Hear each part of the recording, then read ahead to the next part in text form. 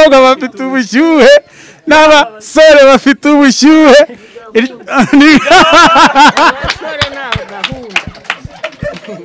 Abasore ni gahunda. Abasore ni gahunda. Abasore ni gahunda. Abasore ni gahunda. Abakobwa ni ubushyuhe.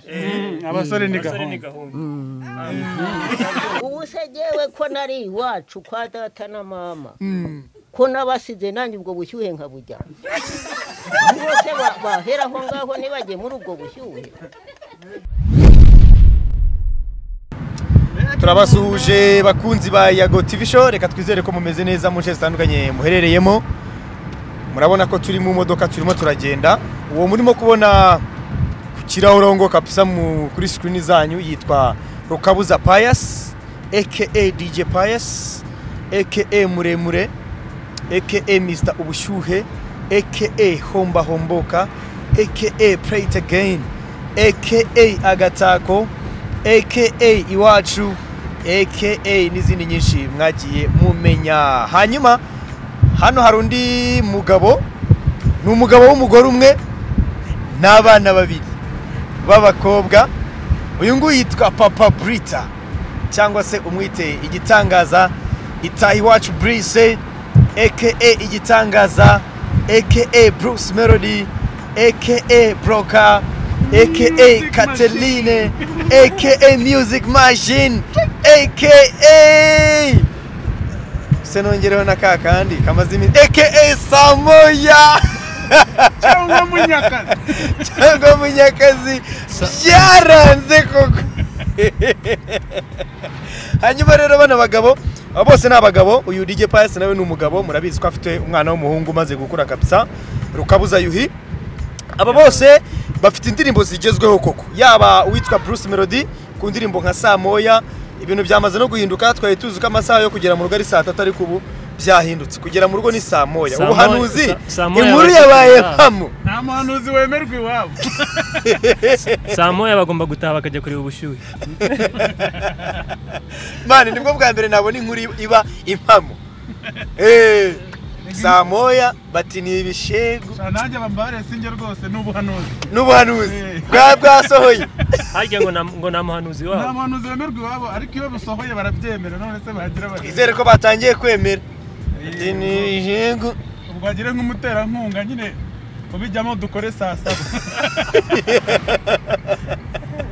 Anyways abagabo rero icyo tu- iki- ikintu gituma turi kumwe nabo kano kanya kuri yago tv show exclusively.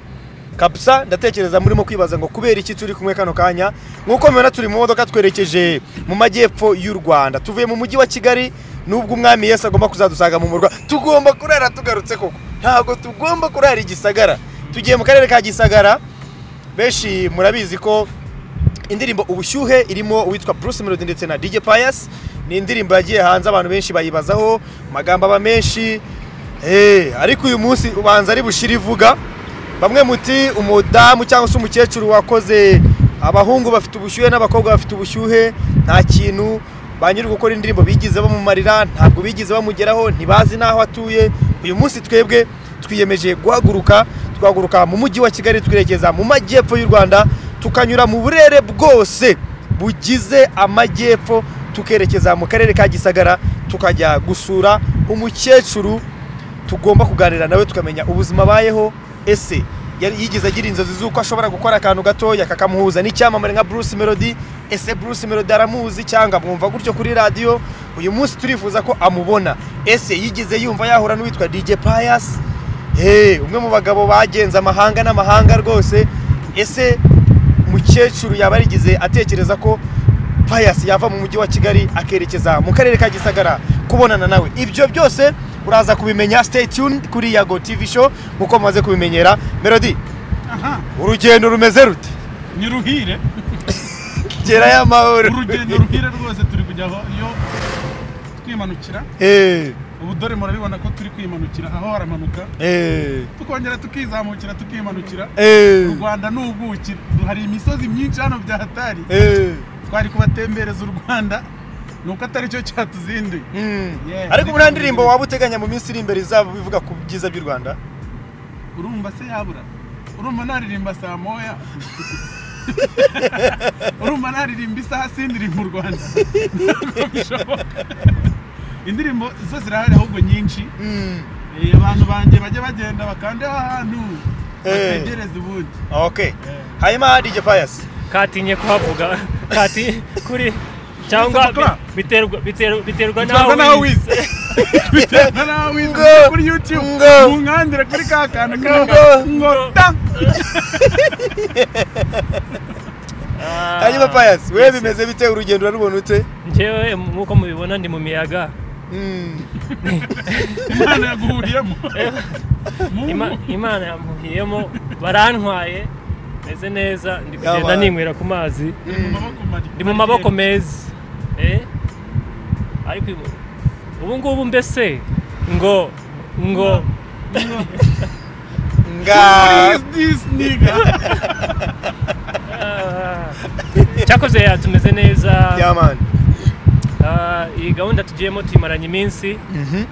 Ah, tumaze iminsi tuganira n'umukecuru bisanzwe tumubaza amakuru uko ameze.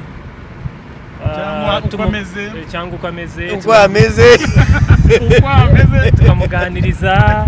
Ariko impamvu twanagiye uyu munsi ni uko ah,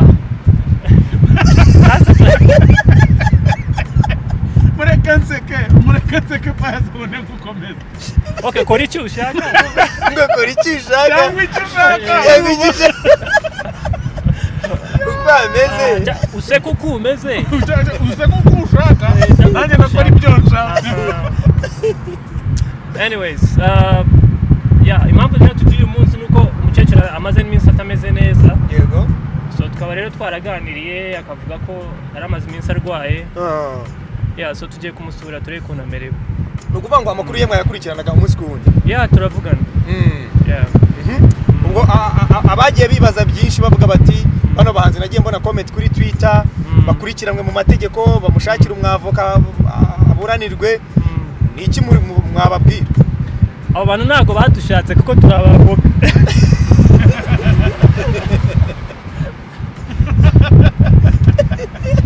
ariko muzi ko payasi atwika aratwika abo bantu ntabwo bigeze batwegera. Eh, narabibonye babivuga ngo bafite abavoka ariko se abo bantu bashaka gufata abo bavoka amafaranga bashaka kubishyura bayafashe bakayaha umukecuru. Urumva? Yeah. bakareka kwangiza umwanya wabo. Niba bashaka gufasha umuntu bamufashije. Barashaka gufata abavoka babishyure. Mm. ngo baze kuburana natwe. Babahaye amafaranga bayahaye umukecuru. Kakeneye ubufasha kakeneye ibyo kurya kakeneye urumva. Ubuzima bwiza. Ni ukwanduranya ibyo ngibyo ariko nta ribi ntabwo tubatindaho twebwe tugiye gukora icyatuzinduye uyu munsi. Kandi iki twatekerejeho neza tubishyira ku mutima none tugiye kubi- kubirangiza. Ah. Hanyuma melody. Nawe abo bantu ntibabura icyo bavugaho. Abavuze bati ubushyuhe muteje ikibazo cy'ubushyuhe ariko mwakoresheje imwe muri muri craft y'umukecuru duteje ikibazo cy'ubushyuhe Eh. bw'izuba. Ikintu ngewe nabivugaho. Eh, ubundi iyo umuntu akwanga akora icyo ashaka. Eh, rero buriya ni nk'abantu batishimira n'ubundi ibyo dusanzwe dukora. Mm, kuko umuntu usanzwe wishimiye ibyo dukora iyo ashaka kutugira inama hari uburyo bwinshi yabikoramo yego. Atari gushora amatiku cyangwa se imanza ubwo rero ngewe mba nimereye na neza uriya mba meze neza ku mutima Mm, iyo abantu bari kumvuga nabi mpita ngira gutya. Mm. kuko nta muntu n'umwe unyanga imana igiha umugisha. Irakwima iyo unyanze ubwo uba wanze abantu nyine uba wanga abantu. Eh, kandi ibyo bintu ni icyaha nta kintu imana yagufasha. Abantu mwabivuze nizere ko namwe muzamugeraho. Nizere ko atari amagambo Eh, gusa. Eh, ibi bintu dukoze twizere ko namwe muzabikora. Eh, kandi twe tunavugana nawe. Urare nk'akantu pasi aba atakubwiye hari umukecuru wa mbere twabanje kujya kureba tuzi ko ari we. Eh, muraswata oya turapesa. Turapevera dukora ibintu byose. Mbere y'uko du- dutangira n'indirimbo tukigira igitekerezo. Yego. Hari umubyeyi twagiye kureba batubwiye ko ari aba mu kahe karere? Oya oya ntabwo umva turi bubibwibwe ibyo bintu. Ni bibi kubera. Aratwika ariko umukecuru abanyamakuru. N'amazina. Se- seruhima seruhimana njyewe we bakwise seruhimbana Eh, Eh, payasi bamwita? Ni ukuvuga ngo abanyamakuru muri abana babikwiye bayitonze we bakwise njyewe iryanjye mbanza kurira muri telefone. Eh. ariko ndaza kurira ariko bruce meddy bamwise? Seruhimbana seruhimbana bazi bamwise izina atakunze niyo mpamvu yaryanditse oya. Njye nahise ndifata. Sha bakwise izina ryiza ah, ngo wanze umwana mwita? Iso ntakwanga Nabi. kwita nabi. Nabi. Eh, noneho iryanjye ni ukubanza kurisha dongo ndari ngiri seruhi? Ah iri ni seruhimbana ni irya bruce. Ehe. Eh eh harya ngo nindera rukabura mutari. Rukabura? Rukabuza rukabura mutari. Rwagiti- Rukaburamutari. rwagitinywa rwa mutakwa. Rwa mutago Mm. ehe ngaho tuvuga by'abanyamakuru turi abana babi? Ni- gute? Ushobora kudufata abantu b'ibi- b'ibihangange noneho banagusumba inkoroko banagusumba bamanuka muri club bagusumba Mm. ukabajyana ahantu. Nyamara batujyanye ahantu batubwiye ko umukecuru tugiye kureba ari we. Ari uwa nyawe. Ari uwa nyawe. Turagenda turamureba turaganira turasangira turishima. Tuvayo tuzi ko mbese niba hari, ibintu byarangiye. Niba hari abantu bavuye hari ahantu bameze neza. Nimwe. Bavuye tumeze neza tu. Mm. ariko ariko uko kumera neza kwamaze iminsi ibiri gusa cyangwa itatu. Bahita badutaha Ya, Eh. ya, tuti ngaho none uzi umukecuru ntitwamurebye Twamurebye abandi bati umukecuru mwarebye ko tubona atari we. Aho hantu se hari kure nk'aho tugiye? Oya hari hafi cyane. Aho hari hafi mo. Eh ni hano za gicumbi. Ni hafi ubyihorere wowe urumva?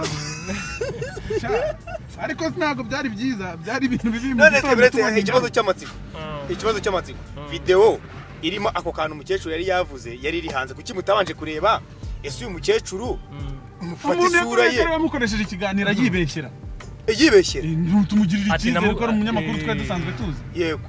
Urumva twagize no mu kagoroba Mm. mu masaa kumi n'ebyiri gutyo. Ariko twumvishe ukuntu uwo mumama nawe yatwikaga. Yaratuganirije bya hatari twumva nta kuntu yaba atari we. Yego. Kuko nawe afite ijwi ryenda kumera kuriya. Mm. noneho anatera sitori nziza nyine arakuganiriza ibibazo umuntu utwite amazina. Mm. ya- atubwira amazina y'inka. Mbega nyine byari byiza byari mwe byiza. mwumva nyine ari we? Twumvaga ari we. Noneho uriya mu- uriya muntu twagiye kureba w'umubyeyi naranamukunze nta n'ikibazo mufiteho. Mm. nzanasubirayo kuko si we kubera- watubeshye. Mwabeshywe n'umunyamakuru. ahubwo twagize imana kuba twarahuye n'uriya muntu. Kuko hari n'ibindi bi- byinshi twamukuyeho ariko ni kwa kundi nyine uba ushaka ko ibintu bitazaba. Yego. Bikavamo ibibazo. Bikarangira ahubwo bibaye ibibazo koko. None se Eh. none se umunyamakuru. Ah. we nyuma byaje kugenda gute muba- mubonye ko hari izindi ngaruka ziba- zibagezeho kandi mwari muzi ko mwakemuye ikibazo? Bruce yakubwiye ngo iki? Inde umunyamakuru. Umunyamakuru yambwiye ngo nanjye ngo nari nzi ko ari we. Kandi yatubwiye ko ari we wakoresheje interview. Arahamwira ati njye ariko numvaga ari mm. uwo wakoresheje interview ni wese ngo ntabwo ari njye wayimukoresheje urumva nyine mpita mvuga ni umuntu. Abanyamakuru. Nyine ni kwa kundi umuntu muratwika aguterezaho. abanyamakuru muratwika. Ariko umunsi imana namwe yabagezemo. Eh, ibintu byanyu bizasobanura ariko nanone turi abana beza se ntidutuma abantu bamenya ibirimo kubera ku isi? Ariko ibyo ibyo ngibyo ni byo bigaragara. Icyababwira ibindi nk'ubu ngewe nk'ubu ngewe. Niyo we bruce waba utareba neza Mm. dore ko wambaye amafaranga n'ubundi bundi baturebera mu mafaranga. Na payasi ni uko. Ngewe uriya mukecuru naramubonye. Videwo ze ndazifite nzitunze muri telefone yanjye ari mu bakecuru nkunda kureba ngewe nabanye nabo. Ni none se hari nk'igihe ubu rero sinamuyoberwa. Hari nk'igihe wakitiranya umuntu abakecuru nyine hari abakecuru baba basa Yego. baba bajya gusa. Mm. ku buryo ushobora kumwitiranya nyine. Umva yago Eh. uriya mukecuru amaze kuba famous cyane ubu ngubu. Ubu arazwi cyane. uburyo nzira. niyo cyane kiriya gihe. Ni kariya akavido gusa tuba tugafite muri telefone. Mm. nta n'abantu benshi bakazi kuri youtube. ibyo mwabikoze indirimbo itarasohoka. Indirimbo itarasohoka. ikiri muri studio. Yego. Urumva? Twe twari tuzi ko turebye umuntu wa nyawe nta nubwo ari ibyo bintu twaganiriyeho. Mm. twaramubajije tuti niba hari ibiganiro wakoze dukoresheje amwe mu magambo yawe hari ikibazo. Icyo gihe twari tukigira igitekerezo cy'indirimbo. Mm. ati nta kibazo. Urumva ntabwo twanabigiye muri detaye Mm. si ugupesa si ugukwikira turamweke urumva? Turishima turishimisha. Bukeye bati "Mm, ngaho uyu mukecuru ze ko nta Ngo, kintu mwa ngo ngo, ngo ngo. ngo umukoresheje ibihangano by'umukecuru w'abandi. Ariko ni experience nziza. Mm. ubwo n'abandi bazakora nk'ibi babe babizi nyine bajye bitonda barebe neza. Ariko- icyiza ni uko nta kibazo kinini cyabibayemo. Noneho ni- n'ikindi cyiza abantu batazi ni uko ari nta kosa ririmo. Umutima wawe niwo niwo ushobora kujyaja ukavuga uti ese ko mbona hari ikintu nakoze ko mbona hari ikintu hari umuntu wamaye inspiration njyewe ushobora kumumanira iki? Ya nta nta gitutu nta tegeko nta nta bintu byinshi byo kuvuga ngo uyu muntu uyu muntu yakoze ibi ngibi Mm. reka natwe dukore ibi. Yego. So urumva umutima wawe wenyine niwo ushobora kugushinja gukora icyo kintu. Ubundi bibikosa bibikosa iyo ari igihangano cy'umuntu wafashe.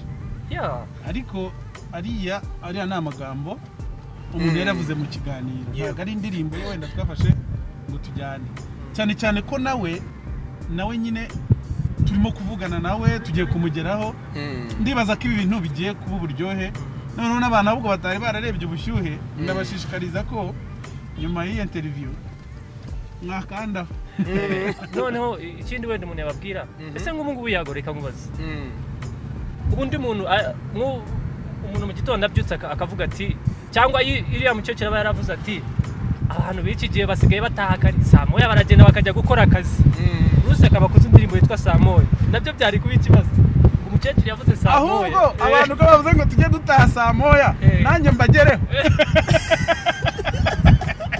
abafashe uwo mwanzuro abafashe umwanzuro ngo tujye Eh. mbabwire ngo ngo ngo ngo ngo iyo yari indirimbo yanjye. kandi ari indirimbo yanjye. Ni- gute noneho ni gute mukoresha igihangano cyanjye koko? Mukanagishyira mu mategeko. Ibyo rero ibyo- ibyo ngibyo mu nyungu zanyu bwite. Ururimi ururimi ni urwacu ururimi ni urwacu turarusangiye. twese turarusangiye. Mm. ntabwo. Mu- gitondo nasohora indirimbo yitwa homba hombo Yeah. Bayasa akihangana mu gitondo hari umuntu wasohora indi ndirimbo yitwa ubushyuhe kuko ni, ururimi rwacu. Mm. sinabonye se hari ubushyuhe series? Filime? Munyishyure mw'abantu. Mungereho rwose tuganire. Abantu ba bamushakira munshakire Batuganirize. umwavoka kuko ngomba abantu mwatangiye gukora ngo ubushyuhe series. Amaro bagende bayirebe. Ubwo ngubwo munganirize hakiri kare. Murabona ko ngiye mu ntara. Hanyuma ngira ngo mutubwire ko mwumva atari ibintu bikomeye Eh. tukaba tugiye igisagara kureba umukecuru. Ariko nabikubwiye ko umukecuru nge tuganira. Mm. umukecuru atari bwo bwa mbere ngize ikintu mu marira cyangwa se Bruce agize ikintu mu marira? Yego. Umukecuru tugiye kumureba kubera ko amaze iminsi arwaye. Mm. urumva? Maze iminsi mvugana nawe byari twagombaga kujyayo mu cyumweru yego induru ziravuga ntuvuge ibyabaye. Urumva? Twagomba kujyayo ku wa kane washize. Saa moya ziragera duceceka ikibazo cyacu. Eh. ko numva mushaka kubitindaho Eh, komeze eh, n'ibindi munyakazi araraburiza uranyumvira hari niba byivugiye. Mujya munyumvira ubu se ko pasi akoresheje igihangano cyanjye muri interiviyu mufate mu mwijosi music machine. Music machine yari yabaye akayunguruzo ngira ngo noneho. Imashini yari yashizemo amavuta Yeah, so eh, yago ntabwo tugiye kureba uriya mukecuru Mm. kubera izi nduru z'abantu. Yego. Tuba twaragiyeyo kera isa ngo ni induru z'abantu. Tugiye kureba umukecuru ko amaze iminsi atameze neza. Mm. hari umuntu ah, umukecuru abana n'umukobwa we. Yego. N'undi muturanyi ufite telefoni. Mm. ibibazo byose iyo bibaye umuturanyi aratubwira n'umukecuru akamugeraho tukavugana. Mm. so amaze iminsi nyine yi- avuga ko atameze neza. So niyo mpamvu tugiye ubona nta nubwo bimeze neza yago imihanda bayifunze saa moya tugomba kuba tugeze i kigali. Mm. so kuba twihanganye tukanaza ntabwo byari kandi bitworoheye. nanakunganiye n'izo n'izo nduru z'abantu zari zarashize. Nta- puresha twari tukiriho. Ariko tubikoze kuko dufite umutima muzima.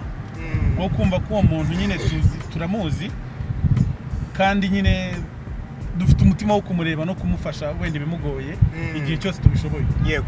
Bimwe mu byo muteganya kumukorera ni ibihe wenda ntiturageraho ngo tugerageze no kwereka abanyarwanda bimwe mu Ah, rero Muri bibiliya haranditse ngo ukuboko kw'iburyo nigutanga Mm. ukw'ibumoso ntikuzabimenye kuzabimenye Mm. none kuki ushaka kwigira ukuboko kw'ibumoso? Nose melody. Ukwizera kwawe melody. iyo iyo ukoze indirimbo nka saa moya ntuba utanze nose kuki rubanda ru- rubimenye.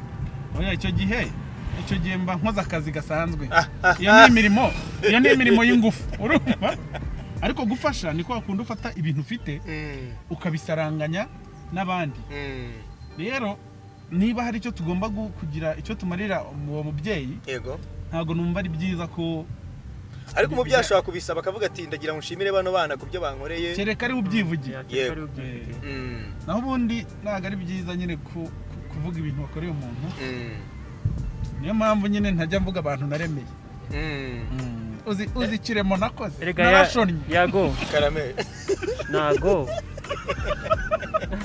narashonnye ndimanukira ndangije nceceka ikibazo cyane yago. Ntabwo ari byiza kubivuga.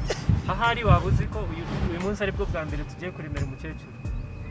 Ntabwo ari bwo bwa mbere. Eh, ntabwo ari bwo bwa mbere nushaka uze kuganira nawe Si n'ubwa nyuma ibyo ari byo byose. nta nubwo ari bwo bwa nyuma. Mm. umuntu mufitanye contact muvugana kuri telefoni umenya ko umuntu ushobora kukwiyambaza. Aha umuntu urwara akakwiyambaza. Mm, ni ukuvuga ko muba mufitanye relationship runaka. Uyu mukecuru ndibaza ko nawe uba ahari yishimiye kuba hari abantu bamumenye kandi biciye mu- muri ibi bintu bi- bisa nkaho byoroheje ariko byafashe indi ntera so wowe se kutatubwira ko watwinjize ko tujyana kandi tutashakaga ko tujyana n'ubundi dusanzwe tubikora none atangiye kuvuza induru none atangiye kuvuza induru ariko ariko nge- ariko ngewe nashakaga ngewe nashaka kwereka abanyarwanda ku- kuko uko byamera kose mwe mushobora nk'uko muvugana mu ibanga ntabwo abantu bari babizi ko muvugana icyo ni icya mbere kandi hano hanze muri industry by'umwihariko harimo abantu nagiye mbona ama interview yabo bari mu ruganda yewe bafite n'icyo barumariye. Hmm. ujya kumva ukumva arifasha aravuze ngo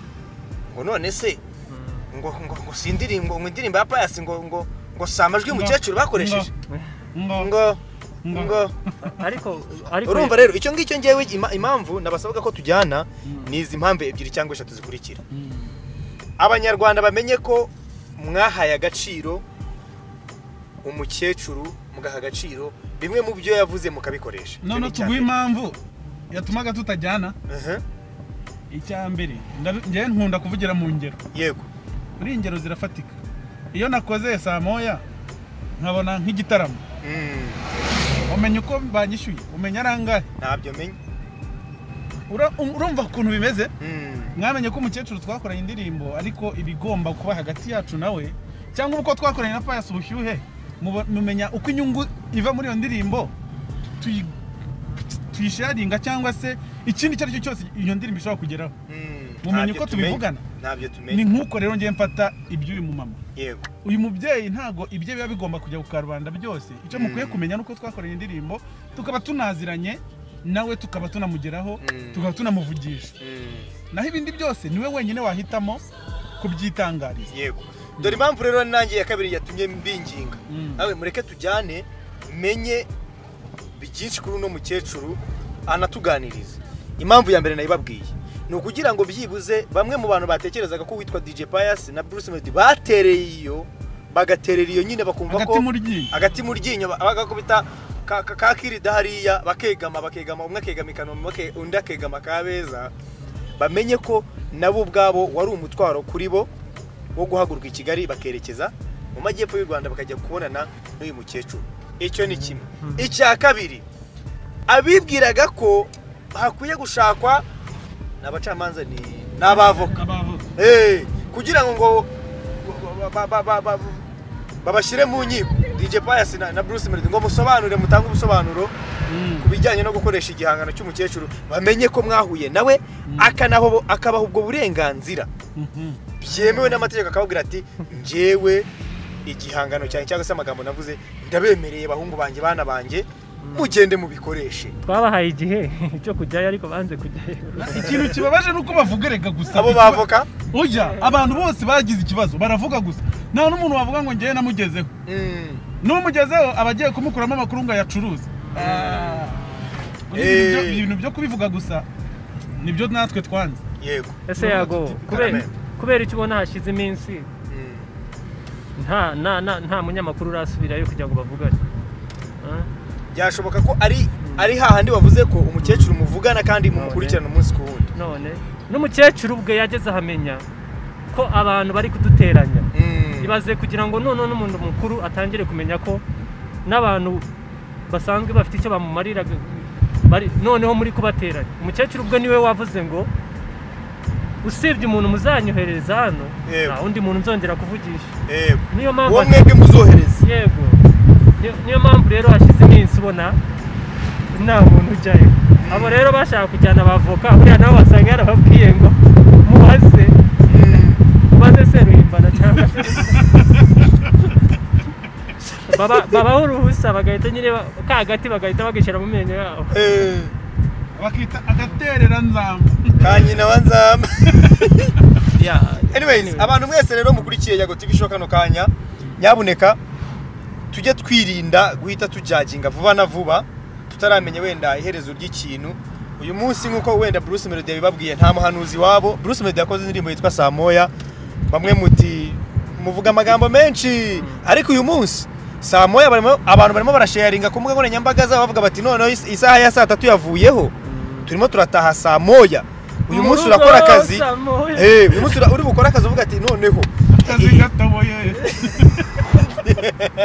Ariko abiririmba ntabwo mwigize muriyalayizinga muvuge muti ese ibintu bishobora kuzahinduka? Isaha ikava kuri saa sita ikajya kuri saa moya. Ariko uyu munsi noneho murimo murabyemera rero mbere y'uko ujya ku mbuga nkoranyambaga ugatuka umuhanzi cyangwa se ugatuka umuntu runaka. Ubwo abahanzi barabyumvishe muyoboke amasaha. Ubuhanuzi ubuhanuzi bundi bubaho bayasubiramo iryo jambo ngo abahanzi? Abahanzi bayoboke amasaha. Njyewe mfashe saa kumi n'ebyiri. Ndabona Eh, ndabona ka abahanzi- eh, muyoboke amasaha. Njyewe ngiye kuririmba saa kumi n'ebyiri. Melody barakumvise ako kantu Kumvise. melody meze nk'imfubyi nako ndiyo. Numvira mu rusaku. Melody subira ako kantu we bakumvise aravuze ngo abahanzi muyoboke amasaha. Eh, mujye mutaha. Rugikubita ako kantu barakumvise nanone aha. Ndatwika nk'igendere ngo ngo Nge. muyoboke amasaha. Muve mu mu buyobe we turi hafi kugera mu karere ka ariko gisagara. bino bintu biri seriye bigeze kumfata ku bintu bijyanye n'amasaha. Yego. Eh, amasaha ntabwo ari ikintu cyo cyo gutinda. Eh, ubwo niba bavuze ngo ni saa moya. Eh. Ubu natwe turi kugenda dushyiramo agatege kugira ngo saa moya tube twageze mu mago yacu twese. Bigeze kugufata. Bigeze kumfata ariko bahita bandekura ndimana. Haciye igihe se. ni ukuvuga ngo amasaha amasaha ni ibintu biri seriye nyine. Iyo uyarengeje udafite uburenganzira bwo kugenda Mm, bakagufata ntabwo biba ari ibintu byoroshye. Yego. Urara muri stade kandi muri stade. Cyangwa se? Ngo haba imbeho ivuna. Eh. Imbeho imena imbavu. Cyangwa se ukarara he? Ibintu ni bibiri ubwo ni mu rugo cyangwa muri stade. Ah. Na- icyo gihe bagufata harya bahise bakurekura wowe ariko se ibyo bintu bintu ushaka byo gutindaho mwana ibyo bintu nta hantu bihuriye n'ubushyuhe. Icyo gihe bamfata nari mfite ubushyuhe. Eh. ngashaka uburyo ntangira kubihuza ubushyuhe bwa- bwatumye ni arenza ubushyuhe amasaha. bwatumye mfatwa. Eh. okay hanyuma turenze mu karere ka muhanga ngira ngo ni byo ra? Turenze mu karere ka muhanga. Turi hafi kugera muri nyanza ngira ngo turava muri nyanza dufata huye. Tuva muri huye ngira ngo ri- ari gisagara ubwo abazi amajyepfo uturere tugize intara y'amajyepfo muratundusha cyane. Hanyuma reka tubabwire ngo stay tuned n'ibindi byinshi kuri runo rugendo twafashe tuva mu mujyi wa kigali muraza gukomeza mubikurikira kuri yago tv show. One time one touch.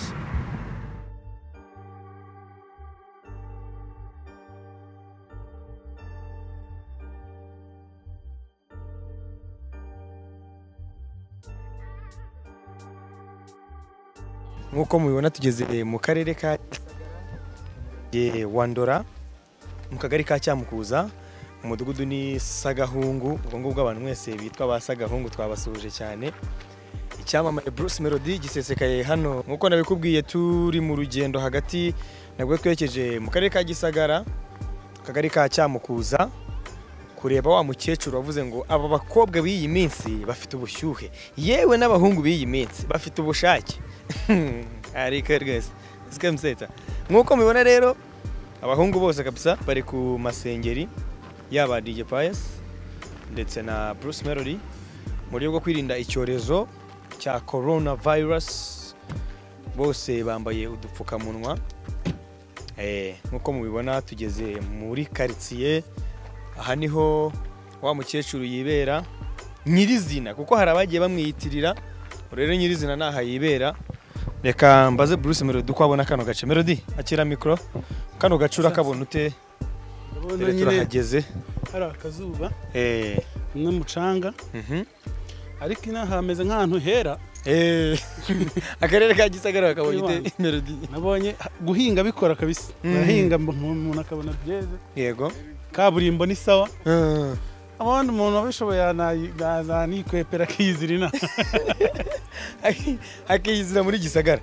Hanyuma nk'uko mubibona twamaze kugera muri karitsiye bagiye kutuyobora. uyu yitwa sandrine. Uwuhe? Aratwika. Uyu mukobwa. Yitwa sandrine. Eh. yewe wa- wa- wabayoboye? Okay tugeze muri karitsiye reka twinjire mu rugo rw'umukecuru. Ibindi murakomeza kubikurikira kuri yago tv show. Ibyamamare bibiri byasesekaye mu karere ka gisagara. Ubu iyi nkuru wabona mutazayimenya. Bantu b'igisagara bantu b'igisagara uwitwa bruce melody igitangaza uwitwa dj pius ku nshuro ya mbere. Melody si ubwa mbere ugeze muri gisagara? Eh, oya. Ntabwo ari ubwa mbere. Nigeze kuhaza ariko ni ubwa mbere nyine mpaje ntaje kuririmba. Eh, Mm. pius wowe ni ubwa mbere? Ni ubwa mbere ugeze muri gisagara sha ni ubwa mbere. Wabonye ute? Mabonye amabuye meza mabonye kaburimbo nziza. Ameze nk'ahantu hera imyembe. Ntureba hakurya turi kureba imisozi ahubwo mu- ah- muduhe ikibanza Na- nawe ni ubwa mbere uhageze wenda utaje kuririmba? Cyangwa Eh. nubwo uraza no kuharirimba? Nta nubwo ndaharirimba ni bwo Eh. bwa mbere. Yego. First time first time. Ah, okay. Ubwo abanyagisagara babyumve ko umusaza DJ Pius yahakandagiye. Reka dukomeze rero murakomeza rwose. umuhango neza kuri Yago TV show. Tugeze mu rugo rw'umukecuru. Reka mu kanya tuze kubereka byinshi birambuye ku bijyanye n'uyu muhango. Stay tuned. Murakoze.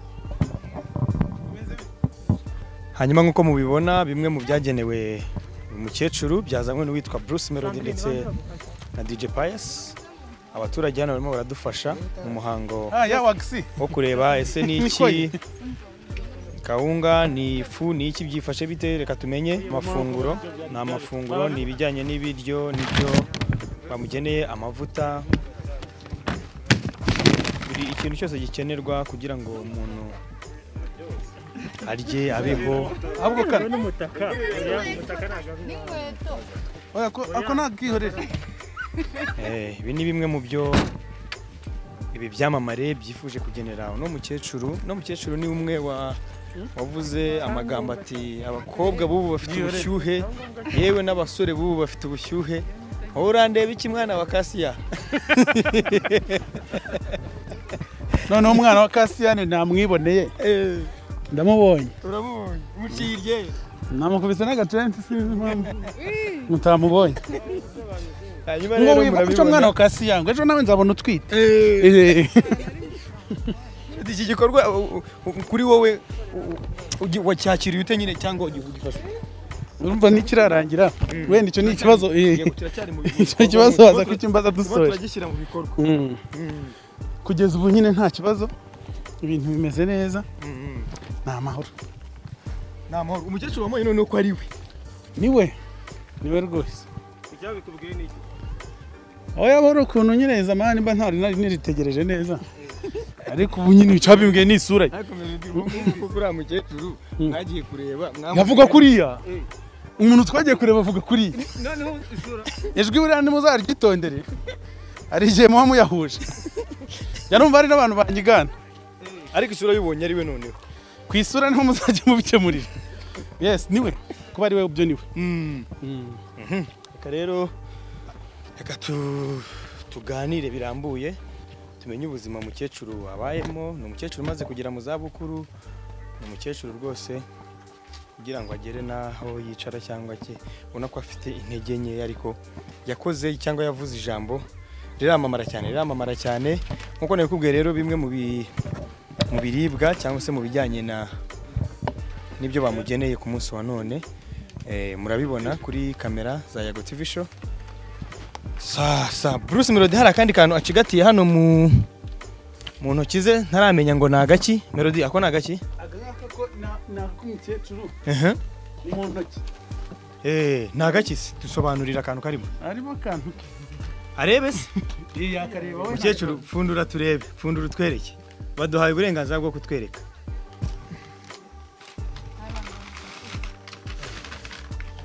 Wawu ni ni igitenge ni hagati. Okay Ah,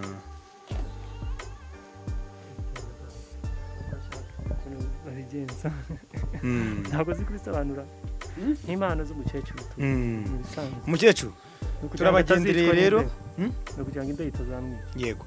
Turabagendera rero twebwe duturutse i kigali. Aba ni abahanzi. Aba ni abahanzi bamwe mu bo wabwiwe bakoresheje amagambo wavuze mu kiganiro uyu nguyu yitwa itaha iwacu burise ariko azwi ku izina rya bruce melody cyangwa se igitangaza. Ni umuhanzi w'icyamamare i kigali uyu nguyu ni umuhanzi ukomeye cyane mu gihugu cy'u rwanda. Ndeba ukuntu ariko nawe afite ubushyuhe. Hanyuma uyu nguyu ubona iruhande rwawe ni musumba zose uyu nguyu asumba abahanzi bose bo muri kigali akaba yitwa rukabuza payas ariko akaba azwi ku mazina ya dj payas uzajya unyitira piyorate Eh, mukecuru amakuru yawe rero.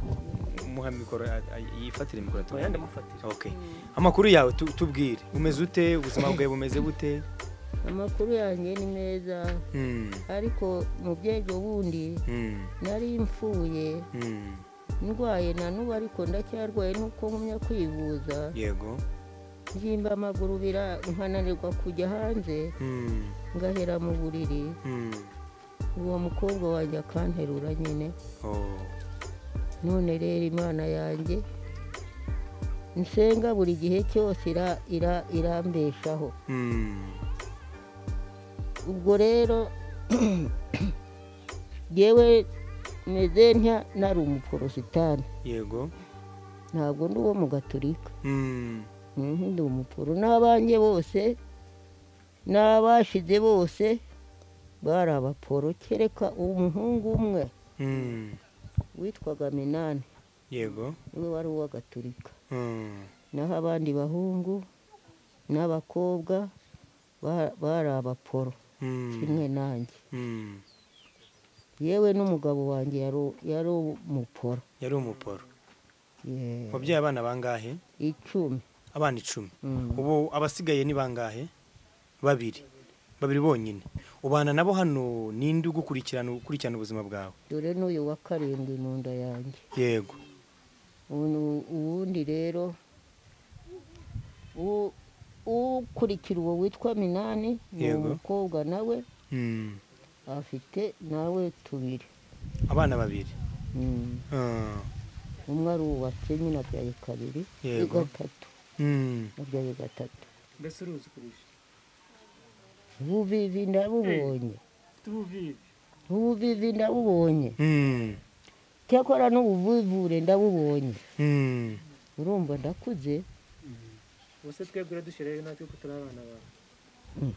Muraguma iruha- muzagumya mu ndebe. Umwanya nkiriho. Navuga oya kureba wowe tuzakureba nakubazaga akazina ubwo abakiri ntabwo turi ubuvivi ntabwo turi ubuvivure muri abana banjye muri abana banjye mukecuru ubu ngubu ugeze mu kigero cy'imyaka ingahe? Menya uyu mwaka umenya nganumve uyu mwaka uyu mwaka umenya ari uwa ni uwa cyenda ni uwa cyenda ni uwa cyenda rwose. Ubwo ni mirongo icyenda. Mhm. mirongo icyenda yose na- akenshi ntabwo abantu bakunda kugera muri iyo myaka baba bagifite ubushobozi bwo kuba baganira n'itangazamakuru akaba yagira icyo avuga. Akenshi bakunda kuba ari abantu bananiwe. Ariko wowe urabona ko ugifitemo akagufu uravuga n'irihe banga? Mm. Ku bakiri bato wenda bavuge bati ibanga mukecuru yakoresheje niri natwe reka tuzasaze nkawe tuzabe tumeze dutya ese muri iki muri iki gihe Hmm. muri iki gihe simbizi sinabimenya kugira ngo bageze bazagere aho ngeze ahangaha simbizi Hmm. Hari harimo ibigusha bigumya kubagusha by'indwara zateye nk'ubu ngubu izi ndwara zibagusha. Hmm. ariko kera kose umuntu yarwaraga nk'indwara izi ebyiri. Nk'izihe ubwo? Yarwaraga indwara yitwa mugiga. Mhm. akarwara indwara yitwa inzoka. Inzoka. Zikavurwa n'imiti ya kinyarwanda. Yego. Uyu nguyu arabizi ntiyaravuze ngo inzoka. Umwana rero yaba yonse kera akarwara inzoka Mm. inka ziba zari zihari ziriho Mhm. ukiyegereza umubirizi Mm. we mugore kwiyegereza umubirizi we mugabo wajya gukama inka zawe mu rugo Mm. ukajyana agakombe yego. K'agacuma Mhm. ntugire ngo ni ibi bikombe byacu ubu ngubu by'ubu. Mm. bacimburaga gutya igicuma kikavaho iyi nkondo. Noneho rero wa muti wawokeje w'umubirizi mu kirere nta kiki kiri hariya. Yego. Mu kirere mu rutoki rw'urutoki ubwo rero wakibuguse wakamuriyemo umugabo rero yajya munsi y'inka ukamwegera yakubita urushunzi rwa mbere hahandi ukamuhereza inyana inyana bakazifatira hariya ukamuhereza rero yakubitamo urushunzi rwa mbere wa mwana bakagenda bakamubyutsa bagahita bamuramiza Mm. ariko uramenye yuko uba washigisha igikoma cya rutuku cy'amasaka Mm. wakiyegereje na cyo Mm. Uwo ni umwana uri ku ibere wa- ushaka kurya nyine wariye. Abandi bana bagaburiye Mhm. ubwo rero noneho ukahita uha wa mwana wamara guha wa mwana akanywa. Akanywa yamara kunywa noneho ugahita umushyira kuri cya gikoma. Cya rutuku cya rutuku akanywa rero yamara kunywa ukaryamisha hariya mu buriri wamara akanya wumva ariburuguse ukajya kureba ukamuterura wamujyana kuri wesi za nzoka.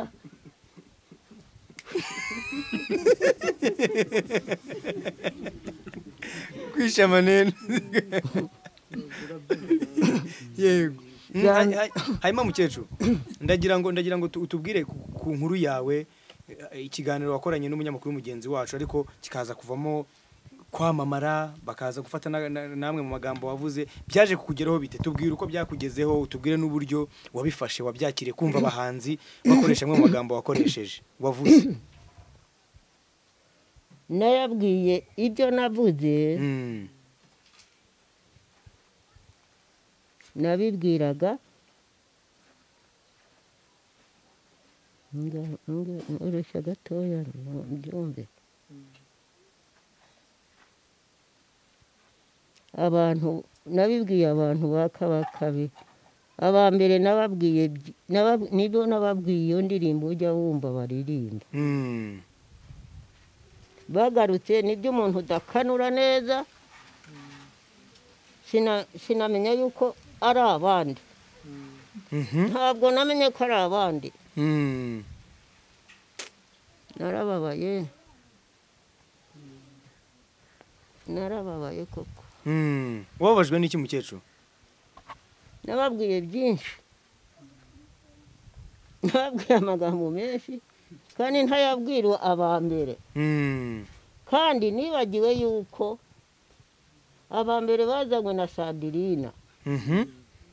Umukobwa wa- umukobwa wawe cyangwa Mm, umutu- umuturage wanjye. umuturage yego mhm. umuturage wanjye. Ni umuturanyi ahangaha ni hano turi kumwe. Yego. Mm, Mhm. turi kumwe. Mm. Ariko- aba mbere ni we wabazanye aba mbere ni we wabazanye hano. Ubwo rero aba kabiri ntabwo yabajemo. Nicyo cyambabaje. Bo baje baganira iki? Baje bavuga iki? Baje baganira iki? Eh. Ese ubu ngubu ko na- navugaga byinshi. Mm. navugaga byinshi si icyo gihe ibyo navuze arararararara ariko we ariko we Eh, ntabwo ari wababonye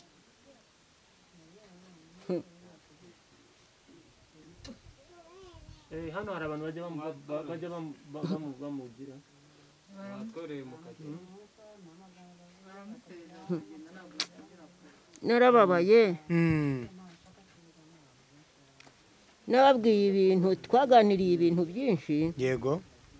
Bantwara amagambo y'ubusa. Mm. ariko amagambo nababwiye nibayajyane wenda nabo wenda ikindi gihe nabo bazagira uwabo mwanya. Ariko abambere rukundo. Rukundo ni we wa- ni- nagize ngo ni rukundo ugarutse naho nabo nabo bo hanyuma. Mm. icyakubabaje ni iki mukecuru? Hari abantu bavuze ngo ngo narababaye. Narababaye nyine kuko atari rukundo wa, wa mbere nabwiye ayo, ayo magambo yo hanyuma. Mm. Batari kumwe na sandirina wanzaniye abo bambere Mm. Mm, ni cyo cya- cyambabaje. Yego. Hanyuma ndagira ngo utubwire aba bahanzi rero inkuru yabo yaba yarakugezeho ko bakoresheje amwe mu magambo yawe? Yakuge- niba yarakugezeho yakugezeho ite? Abo abo bo hambere abambere oya inkuru y'aba bahanzi aba turi kumwe kano kanya. Iby'indirimbo bakoze yakugezeho. Yuko bakoze indirimbo mu magambo yawe? Ariko namwe muramubaza ibyo yababwiye. Ese ubwo ngubwo mwakumvise uko nababwiye? Ntimugumye ku- kumbaza barabizi n'abantu baramuserereza kubera iyo ndirimbo.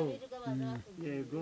Baza birirwa bambwira ubwo se ko baza ba- bambwira iyo ndirimbo? Mm. baba banzaniye ikigewe kintunga ngo nanjye kimbesheho. Mm. ahubwo ba- baza eh umuke duhe duhereze riri ntubona ntubona ubwo ubwo ntubona ubwo turi hano ubu turava hano nituva hano harashya mukecuru ubu none ibaze ko aba bahanzi barazwi. Ubu bano baturage bose bari hano barabazi bo babakurikirana indirimbo zabo. Noneho nituva ahangaha biragenda bite mukecuru ntacyo biri byagenda gute? Se? Aba- baratu- batubonye twaje gusura umukecuru. Mm, bazi. ahubwo twarisabira ko ba- bamuha amahoro. Ni- si byo se ntabwo ari byiza guserereza Guserereza umuntu. mukuru. Ntabwo aba ari byiza. Ubwo se ko babyumvise narabivuze nyine. Koko narabivuze koko. Kandi namwe ubwo mura- murabyumva. Mm.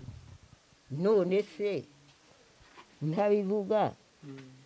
Iyo umuntu aryamye hakonje hamera no kuryama hashyushye. Ni uko rero harimo n'inyigisho. Ni n'inama. Nibyo- none none none Mukecuru, se navuze?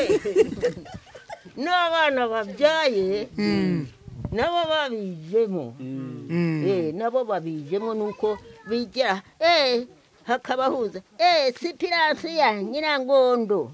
Mm. ntereza ntereza ngo ubahe icyo ariko? Za miliyoni mu ngo tuba twaguhaye ngo tuba twakohereje. Ntazo rwose mujye mubabarira umukecuru rwose nta miliyoni ntazo ntazo. Uretse nawe natwe rwose byaranze. hanyuma mukecuru ndagira ngo tubwire hari ikindi kiganiro maze iminsi mbonye cy'umumama nawe usa nk'ukuzemo avuga ati uretse n'abasore n'abakobwa natwe ubwacu twe bakuru natwe dufite ubushyuhe. Ni iki wamuvugaho? Na- nawe ni uko nyine none se inga mbanze nanjye nkubaze. Ntubona bya rukarakara si ngibi? Mm. none se buriya yabyubakiye iki?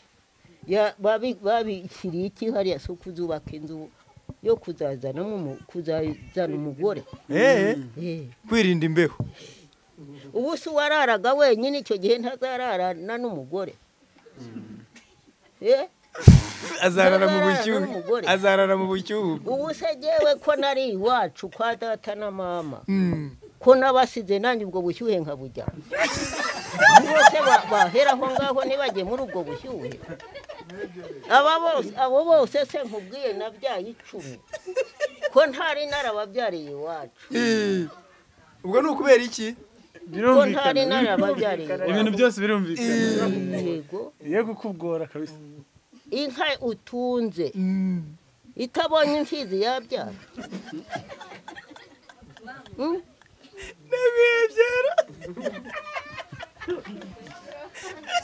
nuko rero none se ubwo baba banshakaho iki kwa mugani baba bagushaka wiki ntibajye bandika ngo wavuze ubushyuhe.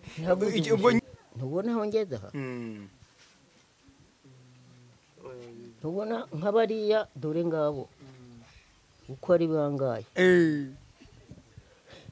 buriya nabo ni imya- ni nk'imyaka iyo isigaye Eh. ubundi icyo bariye bakakibagirwa. Nk'uko natwe twakibagiwe Mm. Mm, hanyuma nagira ngo bano bahanzi turi kumwe kano kanya bagira icyo bavuga ku ku rukundo ku mutima wo kuva i kigali ntabwo biba byoroshye icyorezo cyakomeje kuba icyorezo imipaka yo ijya mu ntara imwe n'imwe barayifunga ku, munsi w'ejo ni bwo bavuze ko imodoka zitwara abantu benshi zitemewe kujya mu ntara ariko aba bo bemeye baravuga bati reka tujye kureba umukecuru yari amaze iminsi arwaye twamuvugishaga tukamenya ubuzima bwe. Mbere y'uko wenda bagira n'icyo bavuga hari uburyo ushobora kubashimiramo? Yuhu, ndabashimiye cyane. Ndabashimiye kunsura Mm, bakareba n'aho ngeze bakareba n'uko nteye. Mm, ndabashimye nshimye n'umu- n'umuyobozi wacu kagame umutware wacu kagame. Mm, mumuntahirize Mm. ntaguhaye amahoro. Mm, ntaguhaye amahoro rwose. Mubyeyi we. Mm. Mm. ni we ungejeje ni we wari ungejeje n'ubu ngubu nkihumeka nk'uko abazima Mm. Mhm. hanyuma nagira ngo ngaruke kuri Bruce Melody. Melody umukecuru uramubonye hari uwo mwari mwagiyeho muzi ko ari we muza gusanga atari we. Niwe wabitubwiye. Byahatari eh hari uwo twagiye kureba dusanga atari we. Ariko nyine ntago ntago byari kurangirira aho. Twashatse amakuru nta nubwo biba byoroshye nyine dushaka amakuru tumenya noneho uwa nyawe ko wowe twagiye kumureba mbere mbere mbere yuko n'indirimbo isohoka.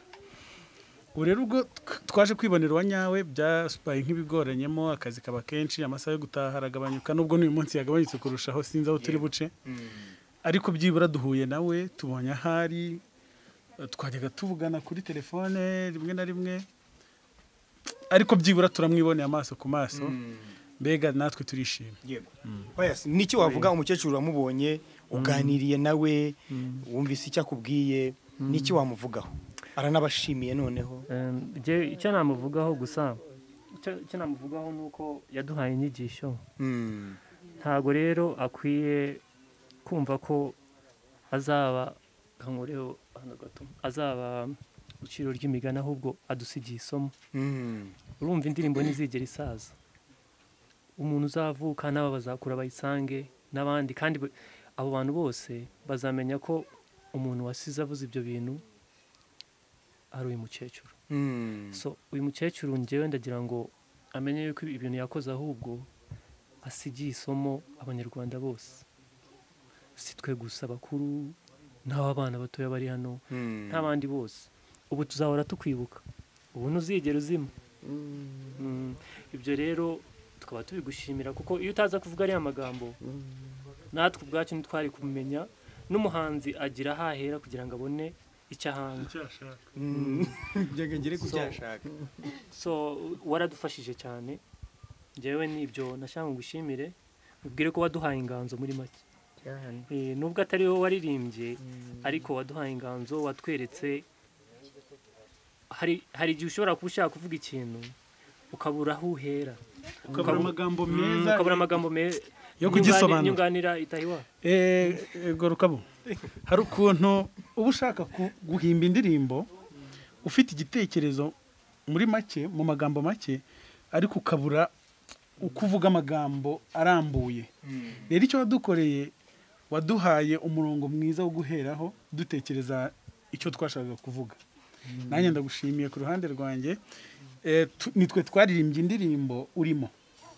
Mhm. Muri Noneho icyo- icyo- icyo uyu mugenzi wanjye yari avuze ngiki umuntu ukuzi w'ikantarange. Ntabwo azigera kwibagirwa. Mm, ndetse n'abandi bazavuka ni- ni- ni- n'ibisekuru n'ibisekuru. Indirimbo ntigipfa ntijya inasaza umuntu wese azamenya ko ibyo bintu byavuzwe nawe ndetse n'inkuru yawe izahora iriho mu gihe cyose interineti igikora. Mm. Yes. Mm. hanyuma umukecuru ndagira ngo nawe nku- nkugarukeho gatoya mbere yuko dusoza. Turi kugana ku musozo kubera ko n'amasaha yatugendanye tugomba gusubira i kigali.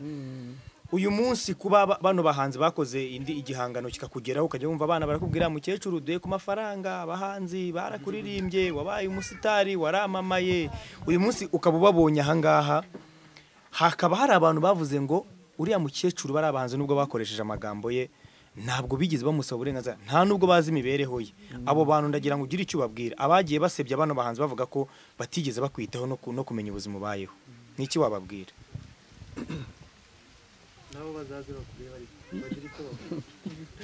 Maze rero ikintu nyine cyambabaje. Cyabo bo hanyuma Mm. ariko nari ntegereje nuko nta icyatumye mbabwira ijambo ryanjye ryasohotse muri jyewe. Ryasohokeye ubusa sinari nzi ko irya mbere ari ryo rimfitiye akamaro. Mm. kandi byazize kutakanura neza ngo ndebe abantu banjye na sandirina yanzaniye ni cyo cyambabaje bantwara amagambo kandi ntibagira icyo bampa. Mm. ni cyo cyambabaje rero. Yego. None rero ibyiza byanjye ndabibonye. Mm. ibyiza byanjye ndabibonye rwose mugire amahoro imana ibaho umugisha. Mm. na kagame wanjye. Mm. Mm, na kagame wanjye ni ubuhe butumwa wamugenera nyakubahwa perezida wa repubulika? Nuko yaramba. Akaramba mu gihugu cyacu. Akabaho nta- ntagire ikimukomakoma. Mm. ntagire ikimuhuganya. Ibihuru yankuyemo ndabizi we. Mm. tuzakomeza kuganira imana niba ikidutije ubuzima tuzagaruka muri gisagara wenda hari indi nkuru tuvuga umukecuru twamugezeho. Mukecuru harya amazina yawe ni ayahe? Kugira ngo nitwa nyirangondo sipiransiya nyirangondo. Nyirangondo sipiransiya yego. Nyirangondo esperansiya twamugezeho nk'uko mubibona. Yago tv show yahageze. Bruce melody yaje. Witwa dj pius. Bafashe umwanya wabo bava i kigali baraza. Ibyo bamugeneye mwabibonye. Wenda hari n'ukundi kuntu. Wenda biba bitari ngombwa ko umuntu yexpose ibintu byose ngo abishyire muri media ariko hari uburyo babanye nawe na mbere yuko bagera hano wumvaga ko mu kiganiro tuza bavuze ko twe tubizi ko amaze iminsi arwaye bamuvugishaga hari uburyo bajyaga baganira nawe bundi wenda twe tutanazi ariko nk'uko babisobanuye. Ndagira ngo du- du- du- dusoze gutya. Mukecuru aba bahanzi rero ngiye kubahereza zino mikoro ubona harimo bakuririmbira indirimbo akantu gatoya k'indirimbo baririmbye nawe urimo. Niko turi busoze ikiganiro. Rwose ukumve wumve uburyo bakuririmbiye buriya siriya niyo nziza. Njyewe ndumva twakuririmbira ivuga ngo ntugasaze uri ishema ntugasaze Ah. aha. Njyewe nifuriza umukecuru wacu kudasaza. Nanjye ndakwifuriza kuramba ukagira ubuzima ukabasha kureba ubuvivi bwawe n'ubuvivure n'ibirenze ibyo. bakura. nashaka kurenzaho kubareba bakura ba- bigira ejuru nabo bakashaka bakabyara. Hanyuma nanjye nshimishijwe wa mugani nuko natwe tubonye. Hanyuma kuririmba byo ubushyuhe nyamara mwamuririmbira ku ndirimbo arimo. Dore n'ibyo ashaka dore yanasetse mukecuru nta muntu uzayidushyiriramo Hari umuntu uyifite hafi twayiririmba tu. Ah pasi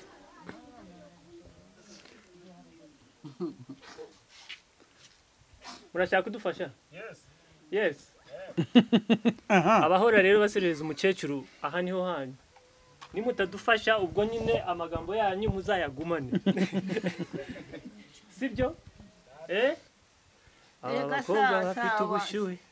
N'aba basore bafite gahunda. ngo aya matara atera ubushyuhe akwibagiza umuntu kufite ibisonga nk'ubusa ubundi ubu turi he? Kufite ikibuwe nk'isabihe dore murankurota buri munsi iri joro ubanza tutari buta. Hey! aba bakobwa bafite ubushyuhe n'abasore bafite ubushyuhe. Aha abakobwa bafite ubushyuhe n'abasore bafite ubushyuhe.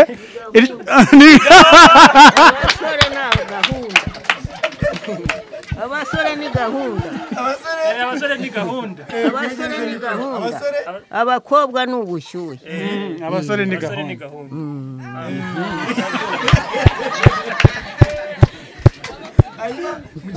Ndagira ngo dusoreshe isengesho rya- ryawe watubwiye ko uri umuporo Eh, ndagira ngo udusengere. Usengere bruce melody usengere dj pius usengere yago.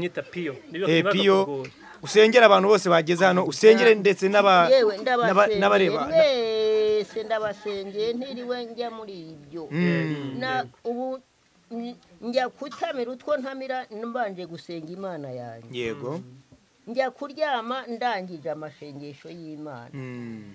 naho niriwe n'imana yanjye naho naraye n'imana yanjye. Mm. namwe imana yanjye ibahe amahoro kugenda neza mwaje neza mugende neza n'ubundi. Mm. imana yanjye ibaherekeze. Uwiteka abageze imuhira amahoro.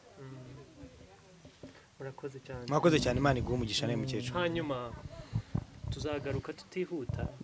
Amasaha atatu zitira.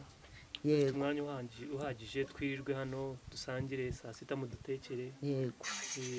Mm. ya sandrine warakoze rero. Uzakomeze utubere umuhuza. Umukecuru nagira ikibazo uzajya umbwira. Ya ah, ni ibisanzwe ibindi ni ibisanzwe tuzako- nukagira ikibazo nyine ngo ubu turi abana bawe. Nuko ugitura umwana wawe natwe utu- tuzajya utubwira cyane. Cyane rwose. Nurwara tuzabimenye nuba wejeje amasaka tuzabimenye natwe duheho yego. we reka mbashimire cyane reka nshimire itaye iwacu Brice cyangwa se Bruce Melody. Nshimire umukecuru. Umukecuru wakoze cyane wakoze cyane kutuganiriza uti ni gahunda. Brice cyangwa Brice nitwa bruce. Bruce. Okay reka dushimire cyane Bruce Melody. Nshimire cyane DJ Pius. Nshimire cyane umukecuru. Nshimire cyane Sandrine. Sandrine watuyoboye. Nshimire n'umutipe watuje imbere yitwa? Yitwa bigwi. Bigwi bigwi ntabwo ari bigwira abagabo ni bigwi gusa. Eh, ibigwi bya Munyanshongore. Reka dushimire cyane ibigwi bya Munyanshongore. Hari mu bantu nabo twahereye mu mujyi wa wa Huye ngira ngo ni Huye ra? Eh Huye. Atugeza hano mu karere ka Gisagara aho umukecuru Nyirangondo yibera. Nshimira abaturage bose barimo kutureba wenda ariko mwe mutabona badushagaye hano barimo kureba bumva umukecuru uburyo avuga uburyo Tuna- aganira. tunabashishikariza gukomeza gushyiramo metero no kwambara udupfukamunwa. Gushyiramo metero no kwambara udupfukamunwa. Mwabibonye? Hanyuma mukomeze gukunda indirimbo ubushyuhe n'izindi zose na za saa moya n'izindi. Mwakoze cyane.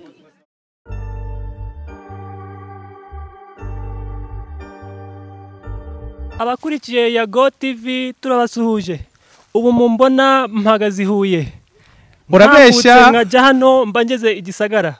Ngiyemo hano hasi ni abamanutse muri kirabu bansumba. Ngiye hano hejuru ni abambasumba muri huye.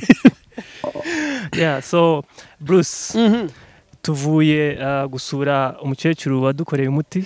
Iyo nkuru utangiye ndayikorera awucu Eh, tuvu okay. Turakwakiriye kuri yago tv urakaza urisanga? Yego murakoze Mm. ndi no kwisanga koko. Eh, Eh, hano turi ni muri gisagara murabibona? Yego. Tuvuye rero gusura uriya mubyeyi twakoranye indirimbo. Mm. turagira ngo tubereke neza ko tutari kubabeshya. Eh, ni ibya nyabyo aha twahigereye mukecuru mwamwiboneye. Mm, yabahasuhuje yabateye pisi yanabaganirije neza. Ubu rero tumanutse. Tumanutse i kigali tubasumba. Eh, hanyuma Eh. kwa kundi pasi yatangiye reka nkore outro. Yego. Yari dj pius muremure yago tv hanyuma mwibuke ko saa moya muri bube mugeze mu nzu zanyu mureba ubushyuhe. Yago tv nakagaruka